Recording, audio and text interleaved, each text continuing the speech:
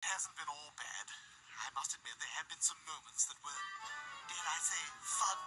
We're off on the road to Rhode Island. We're having the time of our lives. Take it, dog. We're quite a pair of partners, just like Thelma and Louise. Except you're not six feet tall. Yes, and your breasts don't reach your knees. Give it time. We're off on the road to Rhode certainly going in style. I'm with an intellectual who craps inside his pants. How dare you? At least I don't leave urine stains on all the household plants. Oh, Pete Jones. We've traveled a bit and we found, like a masochist in Newport,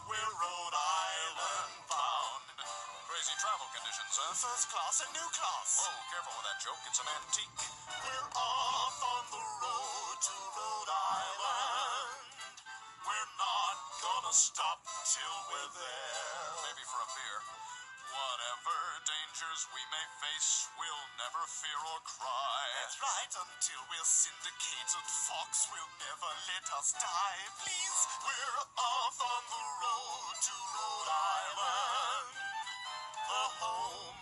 that old campus swing.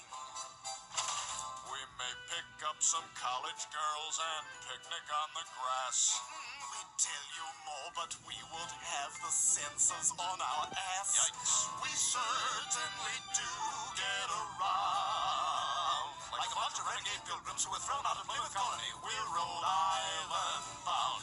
Or like a group of college freshmen who were rejected by Harvard and forced to go to Brown.